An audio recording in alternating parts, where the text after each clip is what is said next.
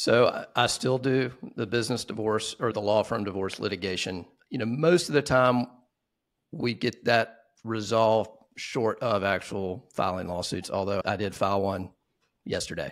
And so I still do that and it's seasonal. So, you know, as you know, a lot of lawyers wait till they get their year end bonus or whatever, and then they decide to leave or they announce in January. So this is the time. And the first quarter is when these sorts of disputes sort of really start bubbling up and they can last all year. But so I still do that. And that's where I started. But I started to see all the issues we were litigating. So I had to become an ethics expert. And if they had written agreements, they usually weren't really built for the issues we were litigating. Welcome to the Renegade Lawyer Podcast, the show where we ask the questions why aren't more lawyers living flourishing lives and inspiring others? And can you really get wealthy while doing only the work you love with people you like? Many lawyers are. Get ready to hear from your host, Ben Glass, the founder of the law firm Ben Glass Law in Fairfax, Virginia, and Great Legal Marketing, an organization that helps good people succeed by coaching, inspiring, and supporting law firm owners. Join us for today's conversation.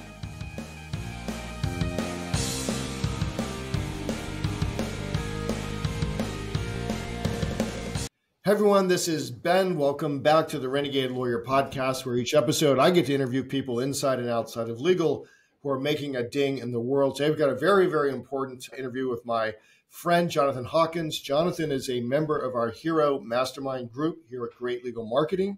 That group largely consists, if I could generalize, of lawyers who are making that move from the lawyer who is a lawyer and does everything and now has a business, has a practice to something bigger than that. Many of them want to scale. They have lots of questions about bringing on help and partners and of counsel relationships and things like that, succession. And what happens if I, you know, something happens to me and I can't practice? And Jonathan is always raising his hand and piping in because Jonathan's business is really being the lawyer's lawyer. His law firm is law firm GC. He's out of Atlanta, Georgia. And today we're going to talk about like it's almost the it's the necessary part of entrepreneurism that most of us don't like to deal with, which is regulatory structure, I think, and contracts and things like that. Jonathan's got an interesting background because it wasn't what you would call a typical pre law background in undergrad. He's an engineer by birth and education. However, after going to law school, he's worked in the legislature as legal counsel to the Judiciary Committee of the Georgia House of Representatives. He's been a, a clerk to a federal uh, judge in Georgia, I suspect. And we're glad to have you as part of the group, Jonathan. We're glad to have you as, as part of this podcast today. Happy to be here and glad to be part of the group. I've gotten a lot out of it so far. Yeah, and you also have your own podcast, the Founding Partners podcast. So I'd recommend everybody like go and listen to a couple episodes and add that to your list because most of whom we talk to on this podcast are the solo and small firm lawyer owners across America and, and, and into Canada. So good. So Jonathan, let's just talk a little bit about that, that about that background and why aren't you an engineer someplace? You know, I'm a third generation engineer. I'm a third generation Georgia Tech engineer. So I guess, you know, I was always good at math and science. I didn't really give much thought about it. Went to engineering school, but before I graduated, I knew I did not want to be an engineer, but I was far enough along. I just said, all right, I'll just finish it. I did not know what I wanted to be.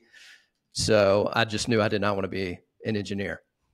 So after that, I took some time off and just sort of, I'll call it goofed around, moved around a little bit, did a lot of different types of jobs. And as you know, you know, I talk to a lot of young people in my life, and many of whom are in high school thinking about going to college and things like that, right? And so, it, it, and you have this heritage of engineers in your family. I'm curious now, at what point in the engineering schooling journey did you say, nah, I don't think this is for me? Well, you know, I'd say probably halfway through uh, when I went, I thought I was going to go into like finance or commercial real estate. That's development. That's really sort of wanted what I wanted to do. The engineering degree I had is I call it sort of a business engineering degree. At some point, I, I decided I didn't want to do any of that. I just knew that I did not want to go be an engineer. That's just not what I wanted to do it's interesting. My dad is also he's largely retired, but he's he became he was an engineer and then became a lawyer. And at the time, I knew I didn't want to be a lawyer either, for sure. I was like, I'm not going to be a lawyer. What? How did that change? You know, it's funny. So, so you asked the question. So I was at undergrad and I did not know what I wanted to do. I went to career services and I took all these assessments and all these tests, and they came back with the top 10 careers that I should pursue. And I think five of them were different types of lawyers. And at the time, I just did not want to do it. I wanted to do my own thing. But, you know, so after school, I lived in Costa Rica for a while, ran out of money, came back, did some odd jobs here and there, then went to Colorado and worked for a ski season and when I was out there, that's when I decided I need to get serious. I was meeting, you know, it was fun, but I was meeting, you know, 40 year old ski bums that had moved out there when they're 18. And that's when I said, all right, I can't be that. I got to get serious. And so I said, all right, I'll just go, I'll go practice law. How old were you then when you entered law school? Um, I was probably about 23, maybe. Okay. So maybe. this is pre marriage? Yes. Yeah. Okay. And then the journey from there, I know you, and I said, you know, you'd clerked for a federal judge, you've done some other things in the legal profession, and then we have landed on your own law practice, and then a real sub niche, a highly valued sub niche, but a real sub niche of legal. So, walk us through the journey of finding your space in the legal marketplace. You know, that's an interesting question. And I talk to folks about this a lot too. I'm a big believer in the niche practice, and it's not something that just hit me one day. It was a step by step, slow process over many years. You know, I started out after the clerkship, I did med mal insurance defense work. I loved it in the sense that I got a lot of experience very quickly. You know, depositions, trials, I was traveling all over the place, but I did not like the medicine and I just did not like it. And then from there, I went and started doing business litigation and got exposed to all sorts of you know litigation there. And then I started gravitating towards business divorce litigation. And that's really where I was. And then my dad, the practice I have now, which you know is largely representing lawyers and law firms and business related stuff. My dad had done some law firm breakups where I grew up down on the Gulf Coast and he had done a, a, good number of those in the span of a short span of years. And he said, if I'm doing this many down here, there's got to be tons of them in Atlanta. You should check it out. And so, because he sort of suggested it, I just started looking at it, and that started the path to where I am now. I think there's a I think there's a huge need for this. You know, when so I'm in law practice with my son Brian, and you know we as we joined forces and he bought into the firm. We did sort of a back of the napkin deal. And then we each went out and got our own lawyers just to, and the value there, the high value there was in each of them showing us things that we hadn't even thought about. Not that there was any, you know, antagonism or anything like that, but it's like, all right, what if this happens? What if this happens? You know, if one of you is incapacitated or passes away, like how are we going to fund the buyout of the shares and all that stuff? And we're like, oh, we didn't even know to ask those questions. And then the whole deal was blessed by my wife and his mom. And so that was the ultimate, the ultimate arbiter. What's it like to have lawyers as clients? Because our, you know, I don't want to upset any of your current clients, but in the personal injury field, like we find that challenging to have lawyers as clients, even when they're, especially when they're not personal injury lawyers. So I, I have had a few challenging client lawyer clients over the years, but largely they've been great, and I, I've enjoyed representing the lawyers. And part of it is every firm is a little bit different. The personalities surely are different, but the business models are different. The types of law they practice, the way they charge their clients, whether it's high volume, low volume, all these different types of practices. And I just really, I'm really interested in it. So, you know, it's fun for me to get to know the person, the lawyer, the partners, but also just the way they do their business. And every new firm I represent, I get a new little piece of information that just adds to the, the you know, the repertoire. Yeah, I mean, you're sitting in the middle of a lot of guys and gals with a lot of ideas, most of them probably good, some of them horrible, and learning all of which I'm sure blends over into some decisions that you're making in your own life and your own practice. So let's talk about that next. Talk to us a little bit about the practice. I'm not even sure if you're doing any business, any law firm divorce litigation, or if your whole work is in preventing the spending of time, energy, and money on law firm divorce litigation. But how is your own work today? This is the uh, first quarter of 2024. We're recording this. How's your own work split up? So I still do the business divorce or the law firm divorce litigation. You know, most of the time we get that resolved short of actual filing lawsuits, although I did file one yesterday. And so I still do that and it's seasonal. So, you know, as you know, a lot of lawyers wait till they get their year end bonus or whatever, and then they decide to leave or they announce in January. So this is the time. And the first quarter is when these sorts of disputes sort of really start bubbling up and they can last all year. But so I still do that. And that's where I started. But I started to see all the issues we were litigating. So I had to become an ethics expert.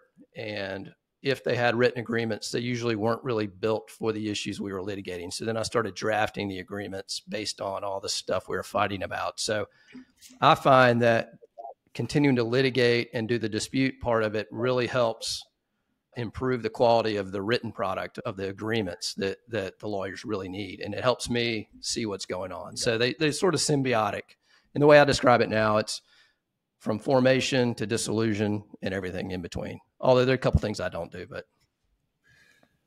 Can you walk us through like what are some what are the sort of the main things that lawyers dispute about or f- fight about when they're going through any sort of a dissolution, and then we can talk about solving or preventing issues.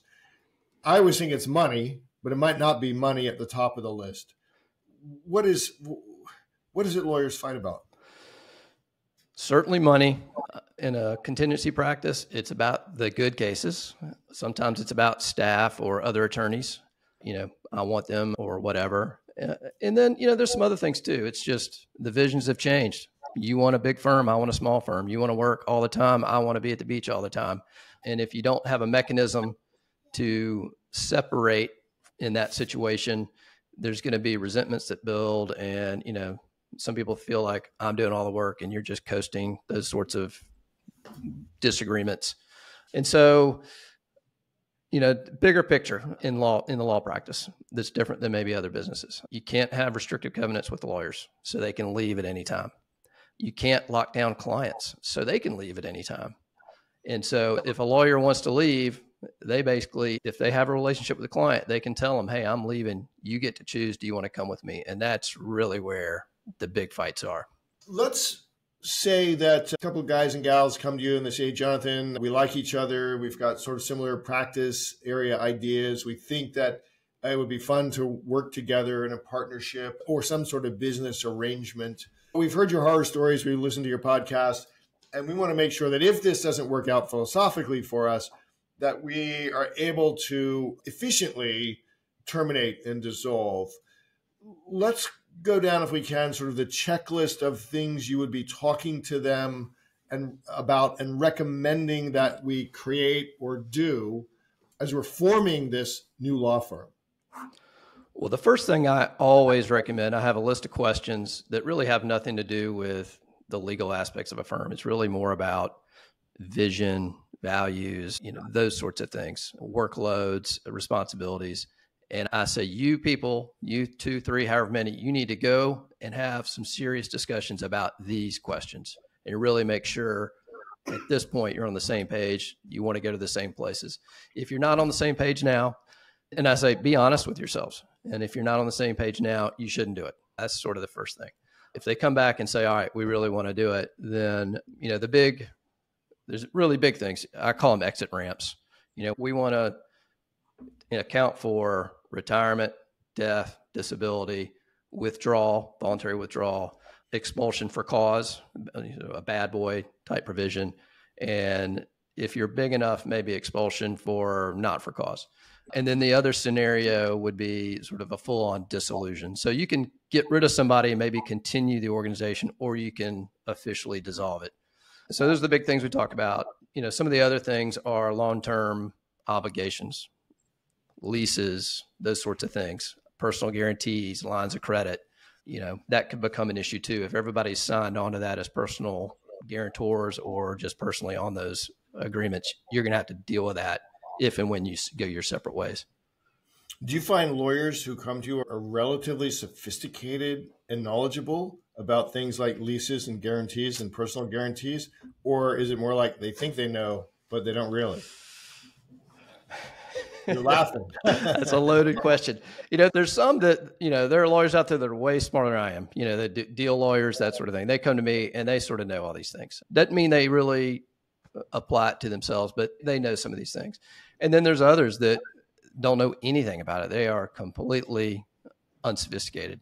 You know, I've dealt with business people that have more knowledge about these things than the lawyers do. And just because they're lawyers doesn't mean they know about this. So, so it, you get a bunch of visionaries in the room, and none of us might know about any of the details of things like personal guarantees. I can absolutely see that happening.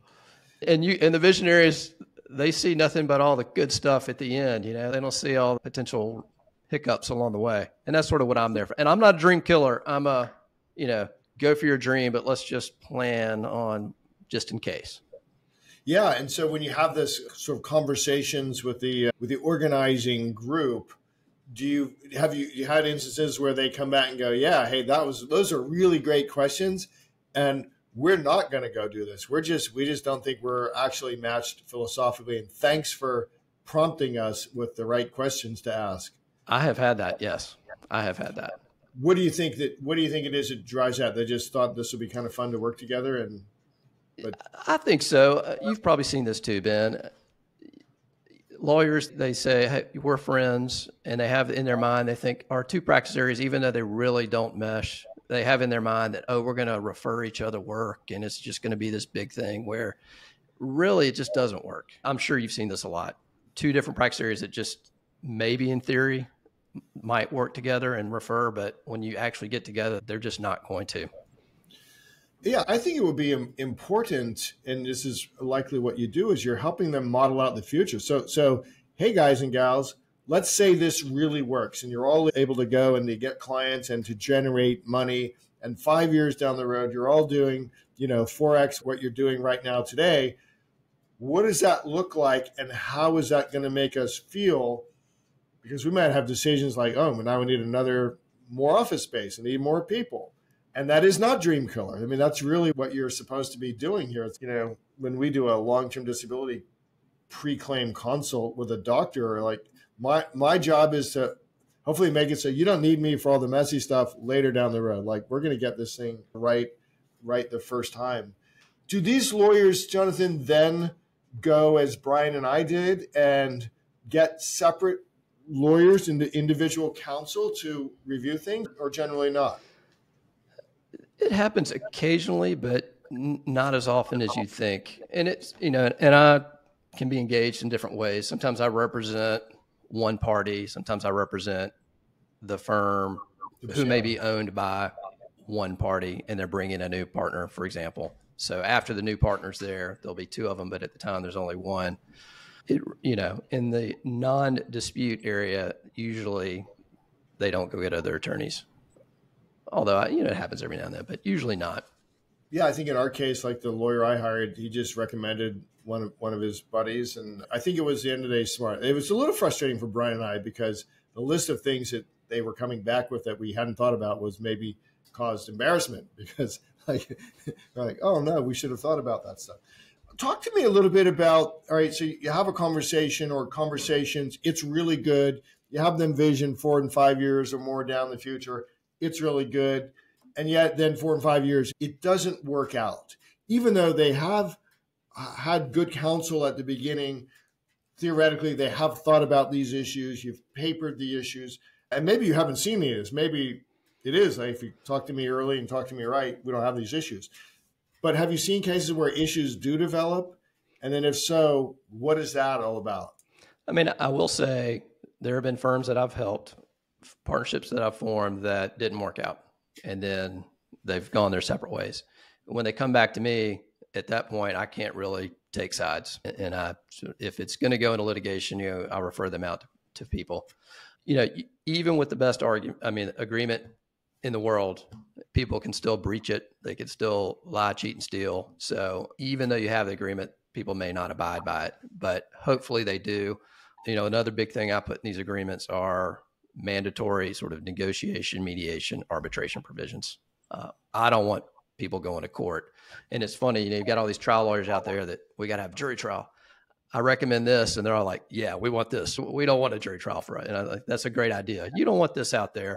It is a mess. You just get it in a private dispute place and just be done with it. You know, there are some. I have a friend in Pennsylvania, and he sends me the headlines of the Pennsylvania, whatever the daily legal press is, because there's almost always some, usually plaintiff contingent fee law firm that's breaking up, and the pleadings are just fascinating to read. And now your stuff is spread out all over the place because they didn't have the let's mediate and negotiate in private behind a black door terms in their partnership agreements. And a lot of those fights are about the, the big one that came in. It's, it's hardly ever about the lack of money. It's always about when there is a lot of money coming in. Now, how are we gonna how are we gonna split that up? It's awful. What do you excuse me? So again, someone who's thinking about forming a business relationship with another friend or cohort who's a lawyer.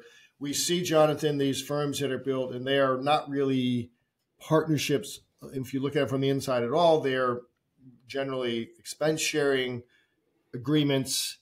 And then you have sort of true partnerships where profits are being divvied up.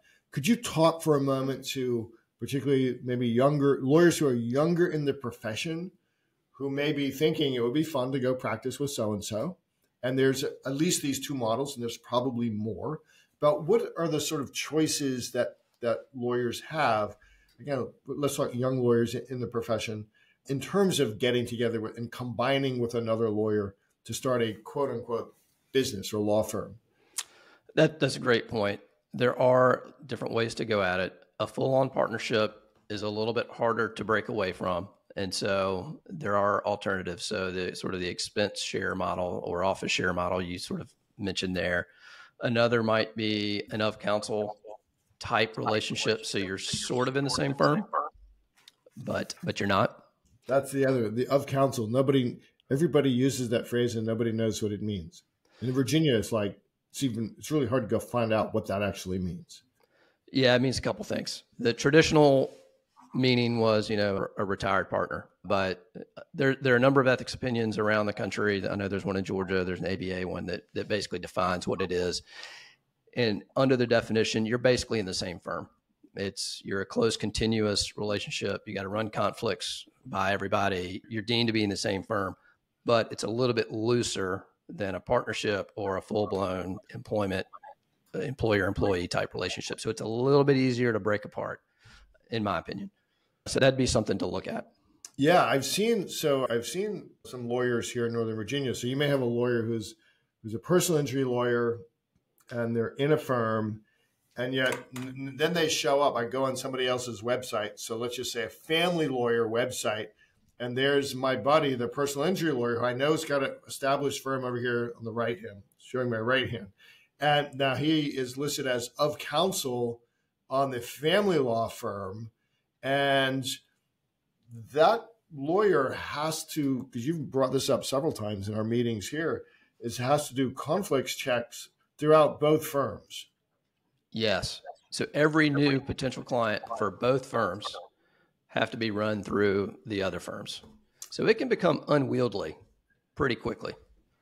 You'd have to get that right and you'd have to have a system. And if you don't think about that when you're forming this, how hard can it be to be of counsel is what I would call that relationship. Yeah. That can be a real a real problem.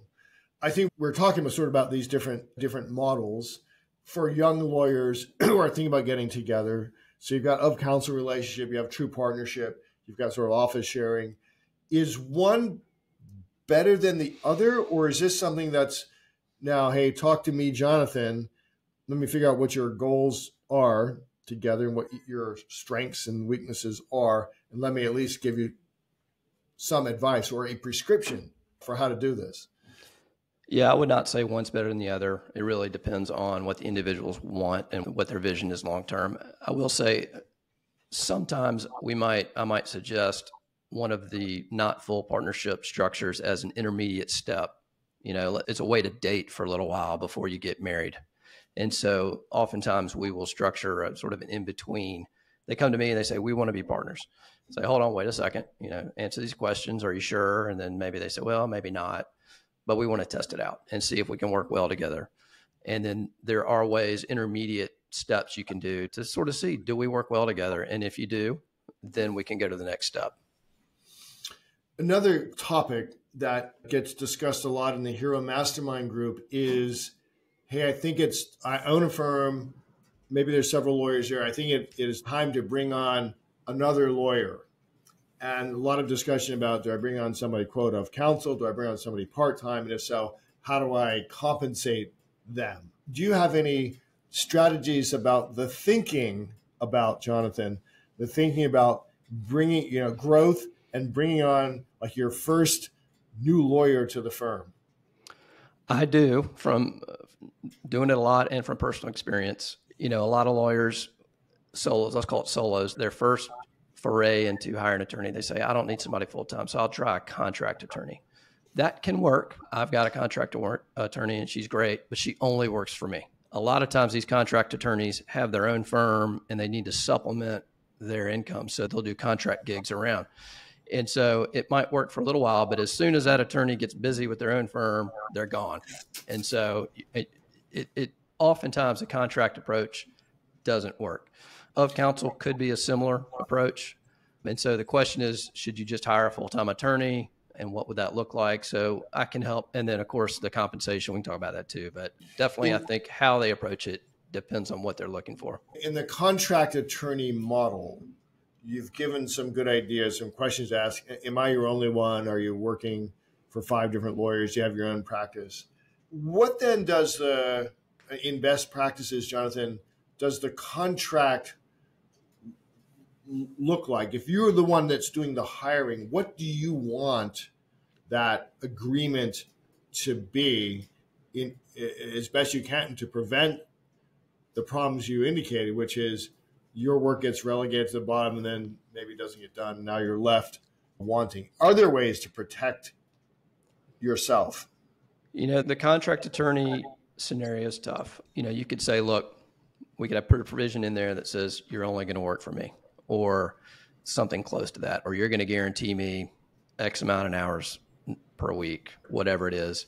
Another, we talked about this earlier, but conflicts, you know, if you've got a contract attorney that's working for five different firms, you really got to really pay attention to the conflicts issue. Because, I mean, can you imagine you give an assignment to this contract attorney? Like, wait, I've already been given an assignment on the other side of this case by this other attorney. It would be terrible. It might disqualify everybody. So you really got to pay attention to that. Hey guys, this is Ben. If you like what you've been hearing on this podcast, not just the marketing and practice building strategies, but the philosophy of the art of living your best life parts. You should know that my son Brian and I have built a tribe of like minded lawyers who are living lives of their own design and creating tremendous value for the world within the structure of a law practice. We invite you to join us at the only membership organization for entrepreneurial lawyers that is run by two full time practicing attorneys. Check us out at greatlegalmarketing.com. Let's talk a little bit about compensation. Again, we talk about this a lot in our meetings at the Hero Mastermind level and the Icon Mastermind level. I'm sure you have seen any number of models. I think the biggest question that younger lawyers who are starting up a firm and bringing on someone else have are like there's always kind of a fear factor of them not going to be able to afford the X salary that I think I need to pay our advice is always you don't need to pay it all tomorrow, right? There's kind of eat what you kill models. There's models that are paying a percentage of the revenue you've brought in. Again, I'm always a strategic thinking guy. So, what are some of the things that a lawyer who's thinking about bringing on talent and wants to attract talent, compensate, but not shoot himself or herself in the foot? Which should they be thinking about? So I'll give the lawyer answer. It really it depends on practice area and really geography as well. You know, depending on the talent pool and what your what's available, it may drastically change your approach. If it's a super competitive area, both in geography and practice area, you're just going to have to pay more and you're going to have to offer something that entices them to come. And then once they're there, hopefully, if they're doing a great job, entice them to stay. And so, you know, I think the other piece too is, you know, do you let hybrid work environments, that sort of thing. But I think, you know, you're nowadays you're gonna have to pay more than maybe you had six, seven years ago, for sure. I think, you know, incentives drive behavior. I'm a big believer in that. And so as you design a comp system, whether be it for partners or for associates or whoever, think about what behaviors you want them to do because whatever comp system you come up with, whatever formula you come up with, they are going to work to that at exclude everything else and they're going to work to that. So, you know, another mastermind member, Scott Snellings, he was on my podcast and we talked about his firm and, you know, he's big on the core values and he has a way to bonus his people on whether they adhere to the core values, which I thought was really interesting. So there are other sorts of factors and things you can put into a compensation plan that are not just how many clients you brought in, how much, you know, how many hours you worked, how many cases you settled, that sort of thing. So it's really what do you, the law firm owner, want to, what kind of behaviors do you want to drive? Do you have a recommendation? Because, you know, a compensation plan that I create for you today, if you're coming to my firm, doesn't have to be the compensation plan that we play with for the rest of yours and my career. So, are there models which say, hey, for six months or 12 months or 18 months, we're going to operate under this this model, and then we're going to come back together in good faith. And Jonathan, I mm. want to know like what's best for you. What do you want? Like, what would be perfect for you? Is a question we ask. Is that is this done typically in in legal? Yes, I mean compensation plans change, and I encourage people to be open to the change. Facts on the ground change, things change. I would never do it more than once a year. That's just the most often. It's, you don't want to do it in the middle of a calendar year. I mean, it's like changing the rules of the soccer game in the middle of the match. You know, yeah. it's, you just don't want to do that. You want people to know what they're working with during that year. I suggest maybe every two years, maybe max, but they're not made to be static.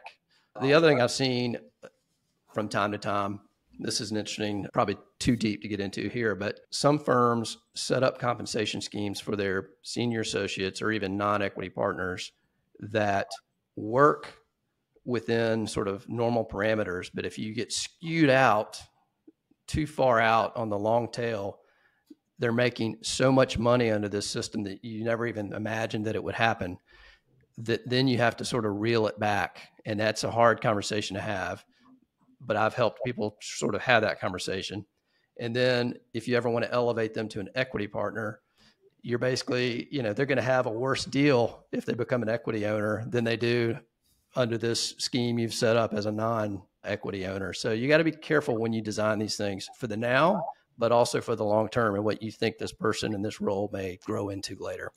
I think that's right. You know, we, we've heard more than once stories of particularly plaintiffs' contingent fee firms that set up a compensation plan which sounds affordable and reasonable, and then, you know, in some instances, it seems like the the non-equity owner or the non-equity lawyer who's in the firm sometimes making more than the owner of the firm because the owner of the firm has all of the risks and all of the expenses, and it is hard to back that out. The other you know, the other side of the coin is, you know, I've seen lawyers go, it's uh, hire Jonathan and pay him $150,000 and we have this compensation scheme. Last year he made 450 and that's just too much.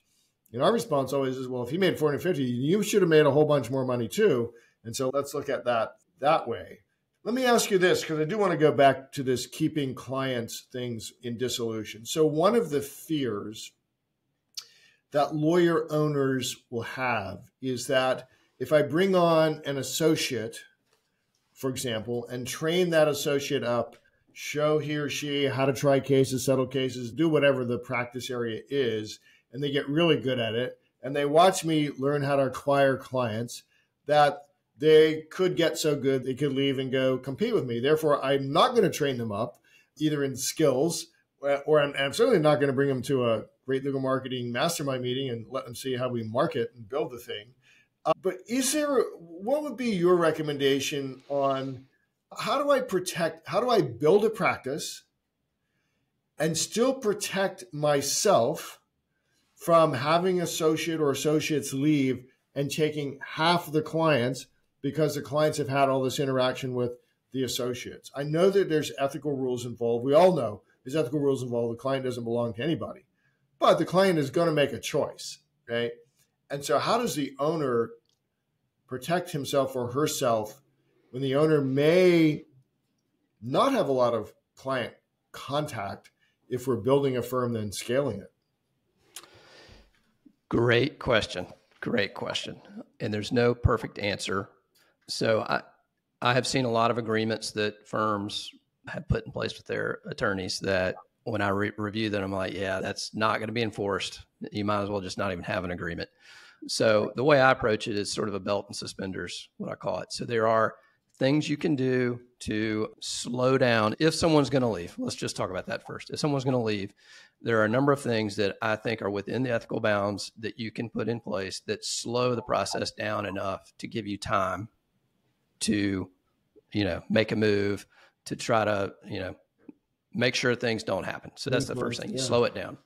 The second thing, if they do leave and take things, worst case scenario, you've got an enforceable fee split provision in place that, you know, sometimes I see them where they say, if you leave and take clients, you got to pay all the fees back to the firm. That's not going to be enforced. That's the same as a restricted covenants. Courts have uniformly not allowed that. But there are ways you can structure it that would be enforceable. So you protect your down, number one, you slow it down and you protect your downside. Now let's talk about some like non-legal ways. I think number one, create a place they don't want to leave. I know you talk a lot about that. So that's one one piece. Another that I suggest for law firm owners, you know, you've got all these attorneys that are developing relationships with these clients. You need to figure out a way as a firm to develop a relationship with the clients as an owner. And there are lots of ways maybe you could do that. But let's just say you send every other week, the owner sends a personalized video recording of the owner talking to the client, telling them they appreciate the client, whatever. That's just an idea via text or email.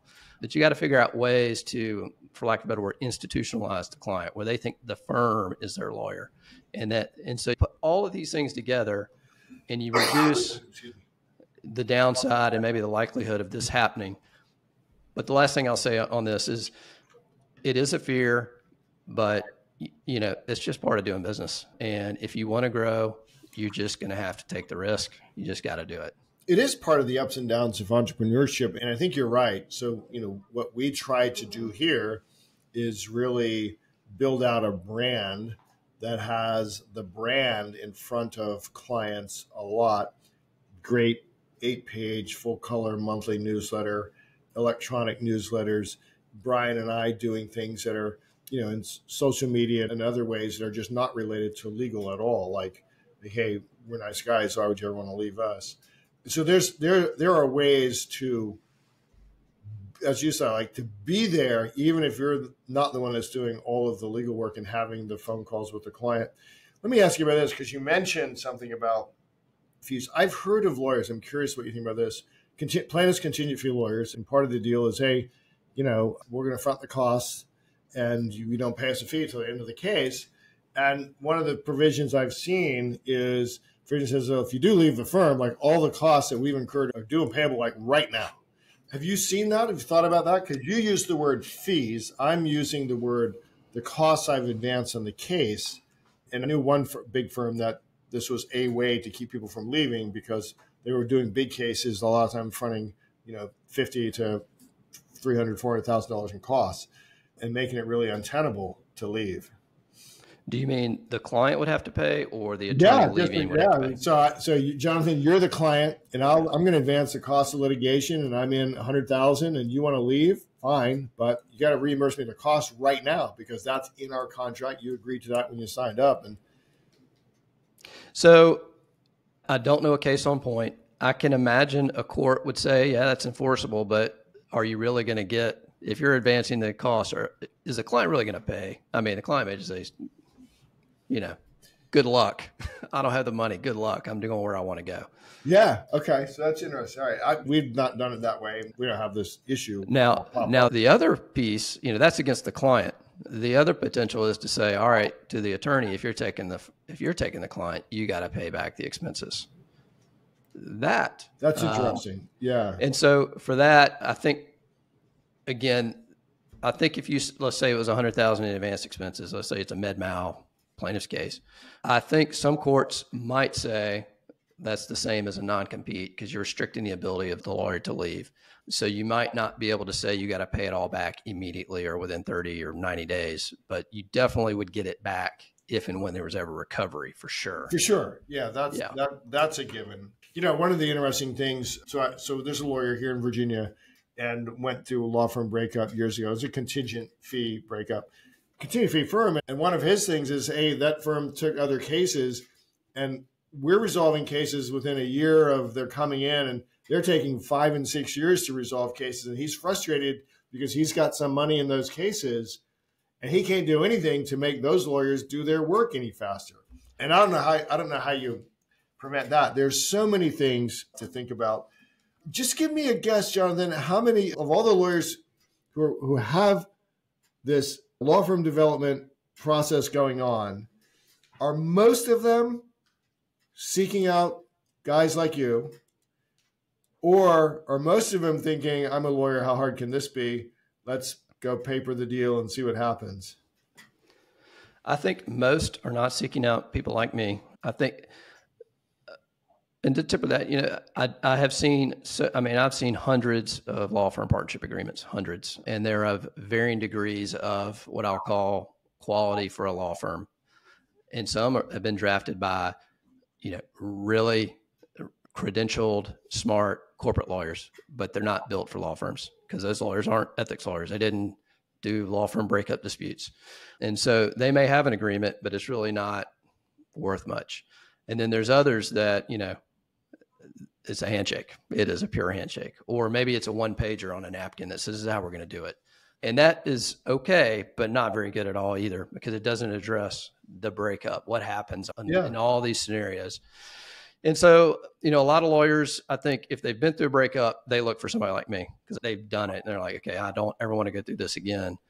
But part of what I have to do is educate them on the value proposition. And when they, oftentimes when they learn about me, they say, okay, yeah, we want help. Now, let me ask you this about your own practice. So, who do you serve? I think you're licensed in more than one state. Are you, is your, is the type of work that you do, limited essentially geographically to where you are licensed, or can you act as consultant advisor to to anybody who might be listening to this podcast and go, hey, sounds like Jonathan would be a good guy to at least talk to. Let me hire him and pay him a consulting fee or whatever, or maybe even engage him full on to help organize my law firm in Virginia. I don't know. Can you do that? Yes. Short answer, yes. So we cover with the lawyers we have here, we cover you know, maybe five, six, seven states with licenses. There, you know, there are a few states. Many states have what's called a multi-jurisdictional practice rule that you know I think in certain circumstances we can help there. Some states do not have that. So either we would need to associate someone who's licensed there, or there are parts of what I do that are non legal that are really sort of almost advisory or consulting like. So we could structure some sort of engagement where I'm just advising and not really giving legal advice. Awesome. What haven't we talked about that you think lawyers really should know more about or should know that they don't know and need to really go out and hire out expertise? I think another area that I really think all lawyers should look at and really haven't is, you know, what do all law firms need? They need clients and what's how do you enter in a relationship with a client? You have an engagement letter, a retainer agreement. And a lot of lawyers have just pulled a form from somewhere, borrowed it from somebody, maybe gotten it from online, and they really have not given it much thought. And there are a lot of provisions that may not be enforceable. There may be a lot of provisions that would be better if they're in there. So I think looking at your client retainer agreement would be huge for any law firm out there. And I encourage folks to do that. And that's one of the services you provide. I know you have looked, as you said, hundreds of partnership agreements. I'm sure you looked at hundreds, if not a thousand, fee agreements and retainers.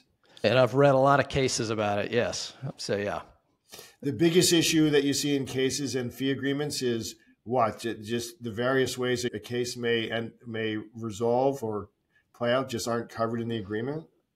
Well, you know, let me give you an example for a plaintiff's firm in Georgia. Different states do this a different way, but if I have a contingency fee agreement with a client and they fire me and go hire another lawyer, generally speaking, I can go get quantum meruit. I cannot get the contingent fee that I thought I had. Now, in Georgia, there are some magic words I call it that you could put in that agreement that at least theoretically you could get the contingent fee on the last highest offer. Right. But you have to have that in the agreement. And if you don't, you're getting quantum meruit, and that's just not fun and it's not going to be much. So that's a good example for contingent fee lawyers. For hourly lawyers, there are certain things you can put in there about collection costs and that sort of thing. And of course, I mean, there's all sorts of other disclosures and things that informed consent and waivers and all things you, you, that if you put them in your agreement, they've signed it, it's there. You don't have to worry about it. And if it's not there, and then you get sideways with the client, and they come back at you, you don't have these protections that could have been there. One of the things that you know you're always trying to balance in a fee agreement, like too much information, you know, you can unsell the, the sale of the case if you're not careful. One of the things that surprised us when we moved to you know DocuSign type signing fee agreements is how quickly some of these came back. so ours are pretty robust, and you know people weren't reading them. I don't think. Like, I don't think they could have been reading them. Great. So, Jonathan, why don't you give us the URL? So, so anyone who's listening to this podcast, first of all, go and subscribe to, listen to a bunch of episodes of the Founding Partner podcast. Jonathan's interviewing a lot of interesting guests. This is the thing that keeps him going. He loves lawyers and make helping them really have a happier life by avoiding you know these potential sidetracking pitfalls that come just because there isn't a lot of pre-planning even though we are lawyers. And then it, the website is lawfirmgc.com is that it? It's uh, yourlawfirmgc.com yourlawfirmgc.com maybe someone else already had law firm gc that's right. That's right. Out of atlanta georgia. Jonathan thanks so much for taking the time to be with us on the podcast today. It's been great. And this, i'm sure this can be very valuable to a lot of lawyers who listen to this deal. Well, thanks for having me, Ben. I enjoyed right, it. Talk later. See ya. If you like what you just heard on the Renegade Lawyer podcast, you may be a perfect fit for the great legal marketing community. Law firm owners across the country are becoming heroes to their families and icons in their communities. They've gone renegade by rejecting the status quo of the legal profession so they can deliver high quality legal services coupled with top notch customer service to clients who pay, stay, and refer. Learn more at greatlegalmarketing.com. That's greatlegalmarketing.com.